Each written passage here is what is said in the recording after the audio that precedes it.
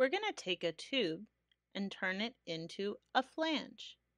At the end of the tube, this one is glued shut, you can cut tabs. The tabs don't need to be big, but you need at least four. Then you fold back the tabs. You might have more than one layer of paper. This is okay.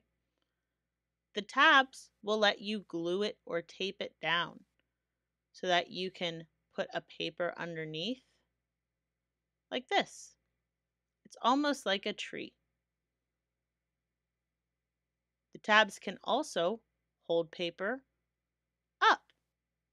If I were to put this paper on top, it stays in place. It looks a bit like this.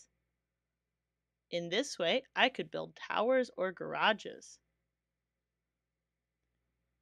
I wonder how strong it is. Could it hold up my computer mouse? It can. Can it hold up a glue stick? Well, it can if it doesn't roll off.